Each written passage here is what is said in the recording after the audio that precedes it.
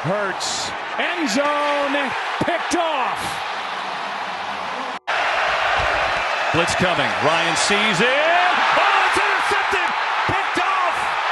Edwards has it all the way for the touchdown. On first down. Blitz coming. Ryan knocked way in the air, and that's going to be intercepted, and that's going to be returned for a touchdown by Edwards again.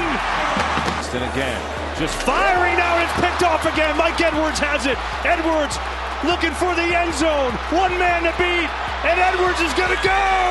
Need 15, and Rush is going to fling it downfield. Fehoko's down there. Couldn't bring it in. Injuries, didn't play well. Third down at 17. Amari Cooper. Nothing. Yeah, I don't like that. Fast. I like the way that they swarm to Amari Cooper. They read the scouting report. You have Amari Cooper in the slot. He's usually the number one option. The reason I don't like it is because you got to. Winds down as Brissett fires downfield. And this one is picked off in the end. For midfield, here comes the pressure, and Mahomes will go down. Mike Edwards. A little too late. He tried to flip around and probably was Patrick, Patrick, Patrick. But to no avail. So. First and 20 now.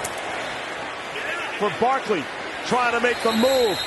Won't get back to the line of scrimmage. Do zone coverage responsibility and then drive downhill on Saquon Barkley.